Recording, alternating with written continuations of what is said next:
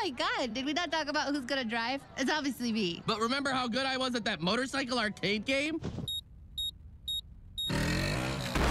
The point is to not burst into flames. Strongly disagree.